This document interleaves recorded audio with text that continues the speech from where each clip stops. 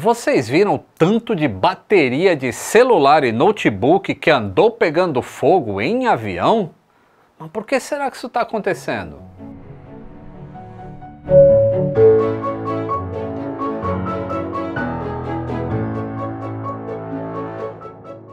Saudações aeronáuticas, tudo bem com vocês? Aí, Lito, olha o sucatão aí.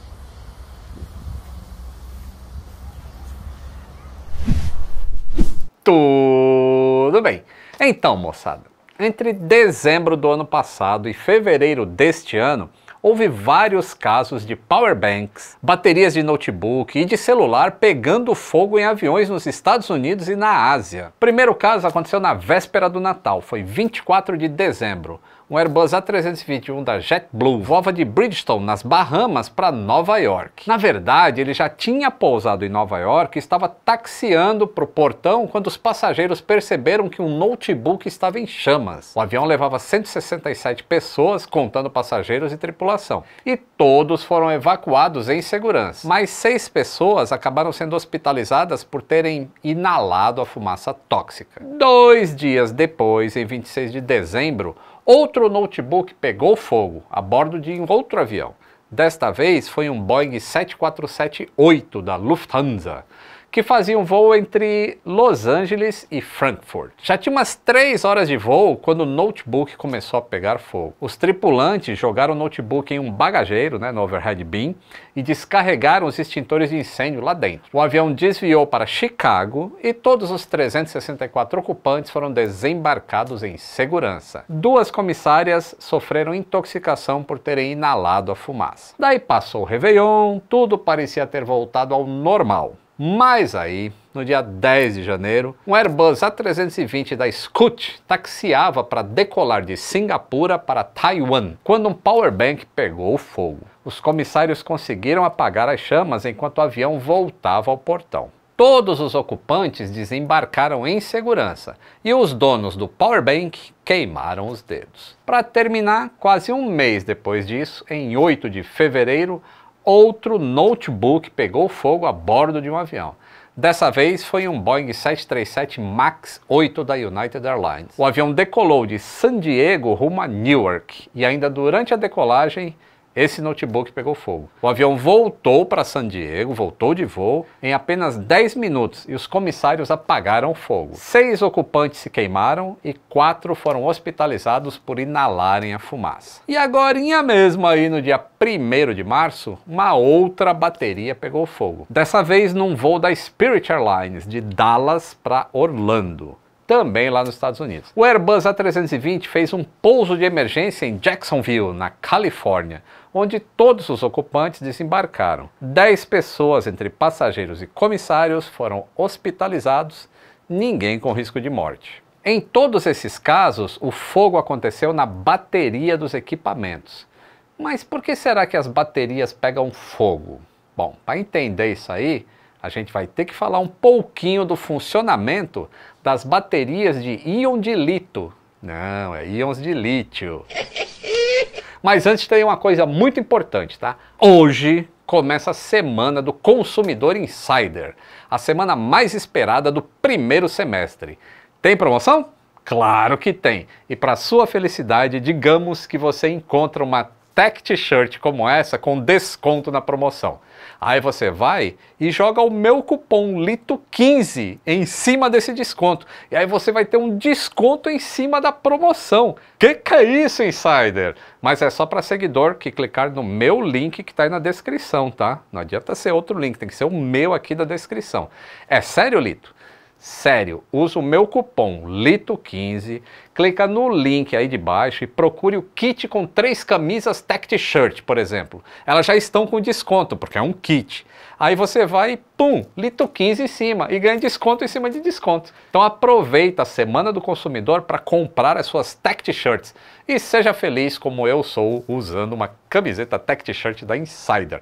Mas lembra, tá? Os estoques são limitados. Vamos voltar agora para a escola. Um átomo de qualquer elemento vira um íon quando ele perde elétrons. E o lítio perde muito mais fácil seu elétron mais externo.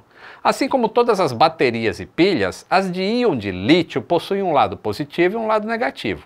E no meio tem uma barreira que deixa o íon de lítio passar, mas não um átomo de lítio. De lítio. Bom, quando o lítio está com todos os elétrons, ele não passa de um lado para o outro. Quando perde um elétron, aí ele passa. E é aí que está o pulo do gato. Quando a bateria está carregada, o lítio está no lado negativo da bateria, preso numa espécie de redinha de carbono, assim como os elétrons dele. Aí você começa a usar a bateria. Os elétrons saem desse lado e passam pelo notebook ou celular para fazer eles funcionarem.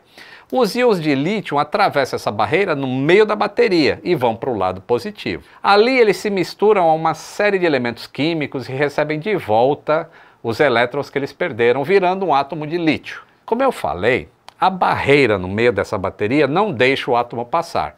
Então o lítio fica ali quietinho até você recarregar a bateria e ele perder os elétrons novamente. Aí os íons vão para a parte negativa da bateria. Enfim, o grande problema acontece quando a bateria dá algum defeito e os lados positivo e negativo se encontram. Se essa barreira entre os dois lados da bateria se quebrar, os dois lados vão se encontrar e esquentar. Vai ter um curto. Quando qualquer coisa esquenta, o que, que acontece? Expande e vai aumentando a pressão dentro da bateria até ela estourar e pegar fogo. É por isso que as baterias pegam fogo. Ah, agora eu entendi! Isso não é um problema novo, tá? Vocês lembram daquele Samsung Galaxy Note 7? O tablet que foi lançado lá em 2016, que teve um problema de fabricação que fez várias baterias pegarem fogo, ele chegou a ser proibido de embarcar em aviões até na bagagem de mão. Mas problemas com baterias de íons de lítio são bem mais antigos. Lá em 1995, quando muitos de vocês aí nem eram nascidos, a Apple lançou o PowerBook 5300, um dos primeiros notebooks com bateria de íon de lítio. E ele passou por um recall no mundo inteiro justamente porque as baterias também tinham um problema que fazia o notebook pegar fogo. E não é legal, né? Você está digitando lá e puf, queima o dedinho. Machuquei o dedinho! Agora você deve estar tá olhando aí para seu celular, seu notebook, com medo, quase chamando o esquadrão antibombas para te proteger calma.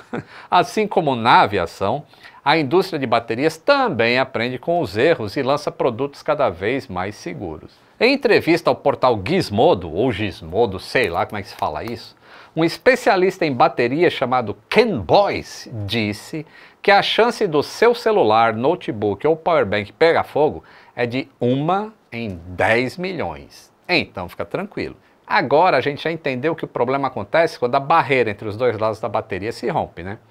Então por que, que isso acontece? Especialmente nos modelos mais antigos, uma das causas pode ser defeitos do desenho, né, do design do produto ou de fabricação. Como eu falei, as empresas estão lançando baterias mais seguras e protegidas. Ah, ó, isso aqui não é propaganda de fabricante não, tá? Mas é por isso que os especialistas sempre recomendam que você compre baterias originais, porque as fabricantes oficiais seguem os padrões de construção mais rígidos, coisa que a gente não pode garantir em baterias mais baratas que você compra aí com La Garantia Soy.